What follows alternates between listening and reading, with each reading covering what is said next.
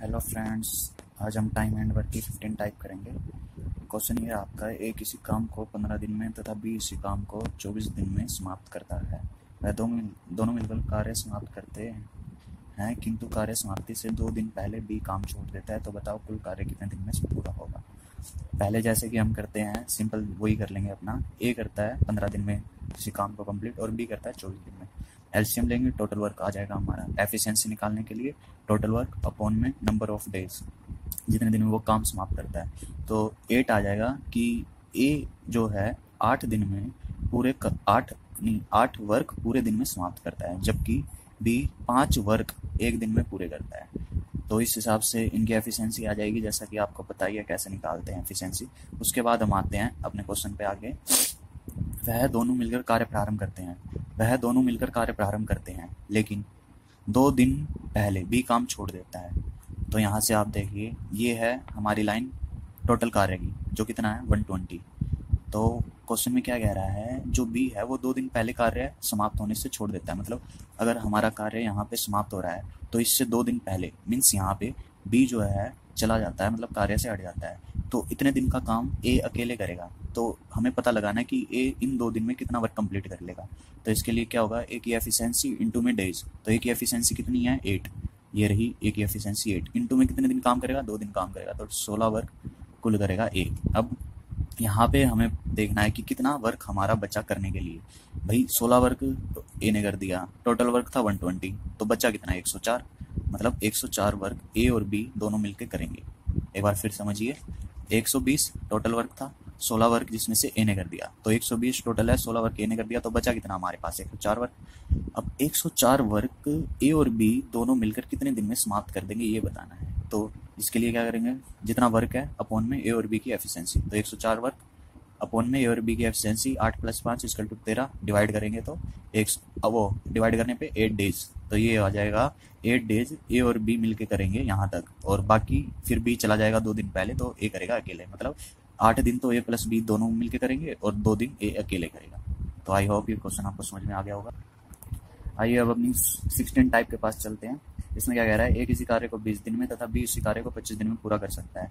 यदि कार्य समाप्ति से पाँच दिन पहले बी शामिल होता है तो बताओ कि कुल कार्य कितने दिनों में समाप्त हो जाएगा। देखिए बेटा यहाँ पे मेन बात क्या है? ये चीज़ है। पाँच दिन पहले शामिल होता है। समाप्ति से पाँच दिन पहले बी आ रहा है। तो पहले जैसे कि हम देखेंगे ए करता है, बीस दिन में किसी कार्य को कंप्लीट भी करता है, पच्चीस दिन में एलसीएम लेंगे टोटल वर्क आ जाएगा सो। उसके बाद एफिशिएंसी निकालने के लिए टोटल वर्क अपॉन में जितने डेज़ में वो काम करते हैं। तो ए की कितनी आ जाएगी? पाँच वर्क पर डे मतलब ए पाँच वर्क करता है हर दिन के हिसाब से और बी करता है चार वर्क हर दिन के हिसाब से। तो यहाँ पे आप देखिए फिर, ये हमारा टोटल वर्क टोटल वर्क कितना है? हंड्रेड जो कि हमें यहाँ से मिला है, इस वाले से। ये आ गया हंड्रेड ठीक है? अब क्वेश्चन में जाते हैं, देखते हैं क्या कह रहा है।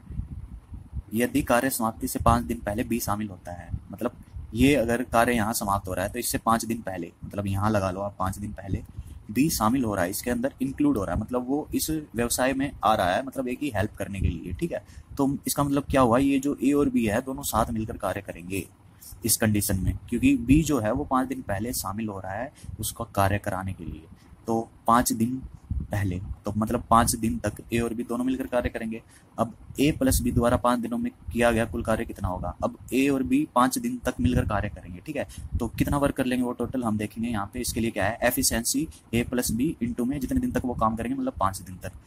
तो एफिशिएंसी ए की कितनी है? पाँच बी की कितनी है? चार, यहाँ है। ये है पाँच एफिशिएंसी ए की और बी की है चार। दोनों को प्लस कर देंगे इंटू में, जितने दिन वो काम करेंगे साथ में। पाँच दिन काम करेंगे साथ में तो नौ गुना पाँच is equal to forty five work ठीक है? तो मतलब ये फोर्टी फाइव वर्क कर लेंगे, ए और बी पाँच दिन में। अब देखो कहाँ गया? सॉरी फिर देखो, ये ये यहाँ आ गए हम। यहाँ पे क्या होगा? टोटल वर्क है सो फोर्टी सो वर्क है ये रहा। फोर्टी फाइव वर्क हो चुका है तो रिमेनिंग कितना बचा? फिफ्टी फाइव बचा 100 में से forty five by fifty five अब यहाँ पे ए अकेला है, क्योंकि बी जो है वो कार्य समाप्ति से पाँच दिन पहले आया है।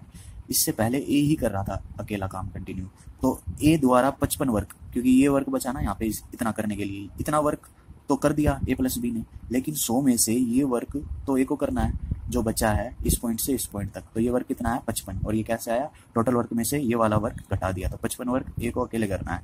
तो कितने दिन में कर पाएगा ये इसको? तो टोटल जो वर्क है हमारा, जो रिमेनिंग वर्क बचा है, पचपन वर्क अपॉन में एक ही एफिशिएंसी कितनी है? पाँच। तो पचपन बटे पाँच, ग्यारह डेज़ ठीक है? तो अब हमें बताना कुल कार्य कितने दिन में समाप्त हो जाएगा। तो ए द्वारा कितना कार्य, कितने दिन में किया गया है कार्य? ग्यारह डेज़ में। और ए प्लस बी द्वारा कितने किए हैं? पाँच डेज़ में। तो टोटल कार्य समाप्त होगा सोलह डेज़ में।